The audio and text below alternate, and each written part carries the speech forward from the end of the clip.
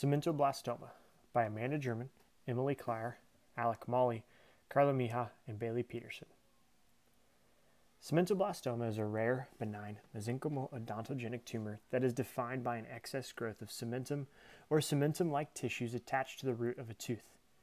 These tumors are normally found in the second or third decade of life and do not appear to have a gender predilection. While cementoblastoma can be associated with any root, it is commonly associated with the first permanent mandibular molar. It is uncommon that a cementoblastoma would occur on a deciduous molar. It is most often discovered in a routine radiograph. Figures 1 and 2 show classic examples of cementoblastomas in panoramic radiographs. Cementoblastoma is a slow growing solitary lesion that may eventually displace teeth and cause root resorption. It may also cause cortical expansion and perforation. The pulp of the involved tooth is vital. However, there is occasionally low grade intermittent pain reported that can be relieved by anti inflammatory drugs. In some cases, it can also attach to adjacent teeth and possibly resorb that root as well. Figure 3 is an extraoral view showing a diffuse solitary swelling on the right side of the mandible on a 14 year old patient. Figure 4 is an intraoral view showing expansion of the buccal cortical plate with obliteration of the buccal vestibule in the same 14 year old patient. Figures 5 through 10 show a case from a 23 year old Indian female whose chief complaint was a slow growing, painless swelling of one year duration. Figure 5 shows the lesion intraorally as an oval, bony swelling on the left side of the hard palate that extends from the left canine to second molar region, with one premolar missing on the arch. In Figure 6, a cross-sectional image at the level of the maxillary first molar shows a well-defined hyperdense mass originating from the palatal root. In Figure 7, an axial section shows the cementoblastoma being apical to the furcation area of the first molar. This indicates that the mass is originating from the palatal roots. Figure 9 here shows the surgical enucleation of the lesion, including the removal of the involved teeth. The root of the second molar was resorbed along the lateral aspect of the lesion. The excised specimen was yellowish white, round, had a granular texture, had a diameter of 20 millimeters, and was attached to the palatal root of the first molar. Finally, figures 8 and 10 show the same patient after the lesion was excised. Cementoblastomas appear unique radiographically. They appear as radio-opaque masses that are well defined and have a radiolucent halo surrounding it. They are often large, and they are always associated with the roots of the tooth. The lesions are commonly associated with molars and premolars. You can visualize radiographically the effects a cementoblastoma has on surrounding structures.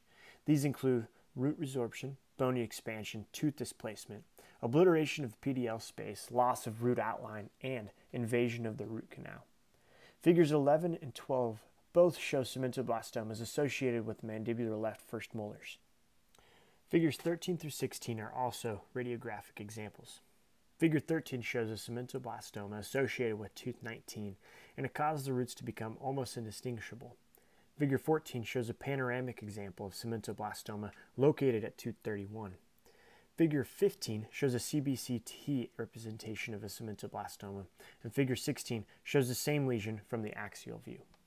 The differential diagnosis for cementoblastoma should include periapical osseous dysplasia, or PCOD, hypercementosis, condensing osteitis, also known as sclerosing osteitis, and dense bone island, or idiopathic osteosclerosis. PCOD is most commonly found in the anterior mandibular region and is asymptomatic. The radiographic presentation of this lesion varies, from early lesions being radiolucent to mixed, to late lesions being mostly radiopaque with borders that are not well defined. PCOD lesions are normally smaller in size and they do not cause cortical bone expansion. With hypercementosis, there is no associated pain or swelling. This lesion is fused to the root like cementoblastoma is, but cementoblastoma presents more as a circular radiopacity at the apex, while hypercementosis presents as a radiopacity in continuation with where normal cementum is located. Hypercementosis is also commonly associated with hyperocclusion, Paget's disease, and hyperpituitarism. Condensing osteitis, also known as sclerosing osteitis, presents with an inflamed or non-vital tooth due to periapical abscess. The radiopaque area, which is typically centered around the involved root, does not have a radiolucent rim surrounding it. Dense bone island or idiopathic osteosclerosis is always asymptomatic and is not fused to the root of the tooth. There's also no radiolucent rim surrounding this radioopaque lesion. Treatment options for cementoblastomas are fairly straightforward. Extraction of the associated tooth with a complete excision of the attached mass. After removal of the tooth and attached mass, curettage is recommended to decrease the rate of recurrence. Recurrence and continued growth are possible if excision is incomplete, where the recurrence rate is as high as 37.1%. Prognosis is usually excellent in cases with complete removal of tooth and attached tumor. Figure 21 shows the extracted molar tooth with the associated cementoblastoma. Figure 22 shows an excised tooth and lesion radiographically. Here are our references, as well as our image citations. Thank you.